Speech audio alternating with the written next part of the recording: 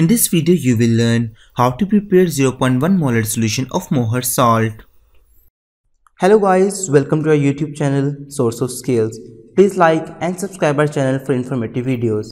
The required preparators and chemicals include a weight balance, Mohr salt in a bottle, distilled water in a beaker, one stirrer, one empty beaker, a spatula, one funnel, and a volumetric flask of 1000 milliliter. Let's do some calculations. We have to calculate the molecular weight of Mohr salt. The formula of Mohr salt is FeSO4 into NH4 into SO4 dot 6H2O. So atomic masses of iron is 56, sulfur is 32, oxygen is 16, nitrogen is 14, hydrogen is 1. So let's put into the formula. So molecular weight of Mohr salt will be 392 grams per mole.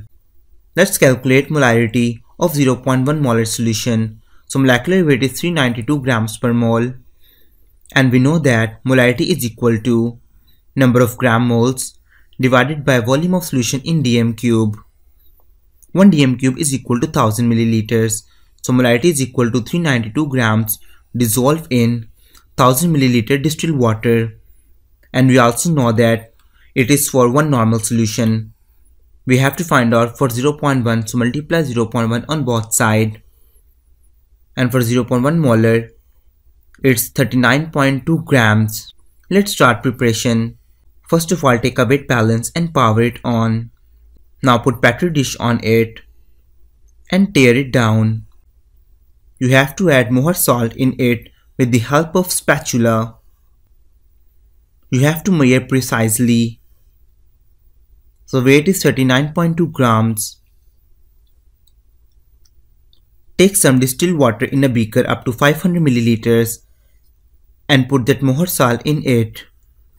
To make homogeneous mixture, stir it well. Pour the solution into the volumetric flask with the help of a funnel.